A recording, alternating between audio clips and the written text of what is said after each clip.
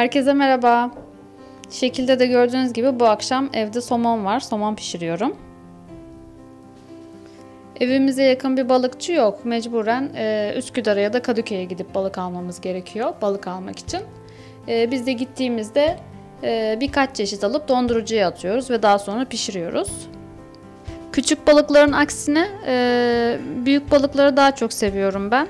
E, yani hamsi istavrit de yiyoruz ama onun harici işte somondu, e, çupraydı. Bu tarz balıkları da çok fazla yiyoruz evde.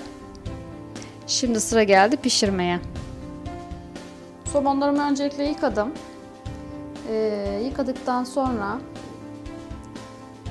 şöyle kaba alarak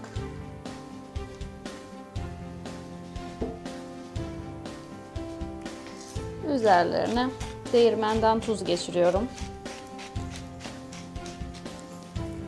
Önlü arkalı tuzluyorum.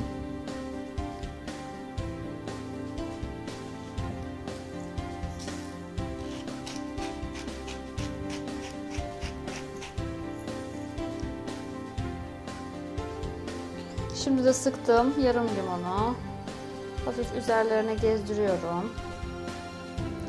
Yine önlü arkalı çeviriyorum. Her yerine eşit miktarda yayılıyor. Balıkları yağlamadım ben. Direkt tavaya yağ döktüm. Balıklarımı tavaya diziyorum.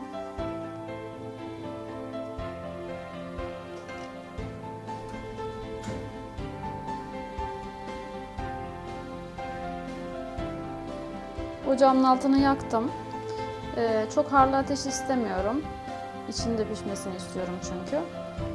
Ee, ben birazcık da yanık seviyorum. Olabildiğince kızartacağım burada.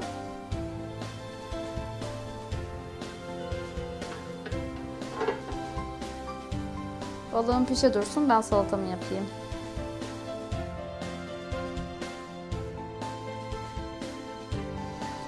Somonları önlü arkalı kızarttıktan sonra servis tabağına aldım.